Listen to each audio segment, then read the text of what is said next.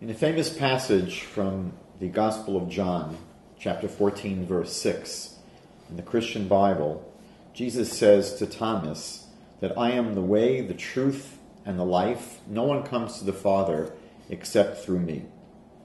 Evangelical teachers, based upon this passage, insist that Christianity is the exclusive path to God, that it's impossible to have a relationship with God without going through Jesus.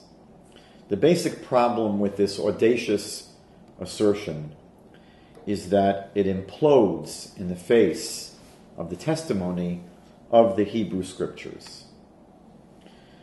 There is actually not one passage anywhere in the Tanakh, in the Jewish Bible, that says or implies that faith in any Messiah is required in order to come to God. Numerous times in the book of Devarim, Deuteronomy,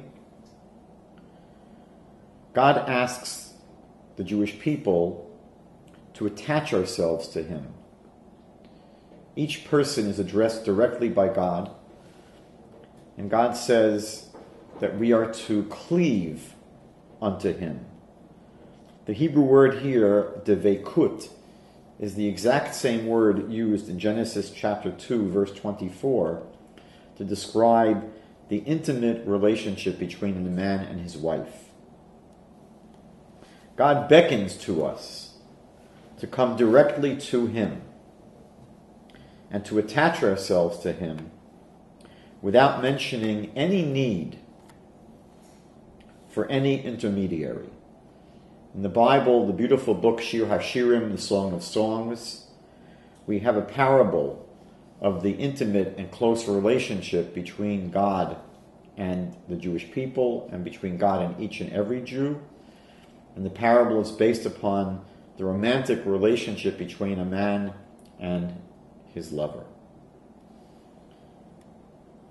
Abraham, in the book of Isaiah, chapter 41, verse 8, is referred to as God's beloved, as God's friend. And that's without Abraham having any need to believe in Jesus.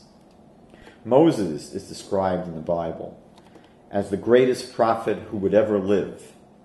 Moses is described as someone who knew God face to face, like a man speaks to his best friend in Exodus chapter 33, verse 11.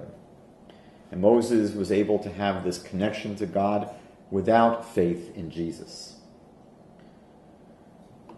Kalev, one of the 12 spies who was sent into the land of Israel at the request of the Jewish people to spy out the land, to scout out the land, Kalev was one of the two spies, the other one being Joshua, who did not give a discouraging report to the people of Israel.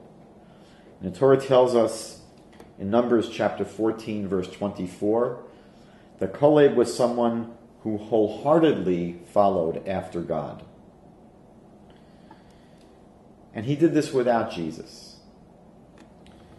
And then we have David, King David, the sweet singer of Israel, whose entire book of Psalms, 150 chapters, which describes his intimate walk with God,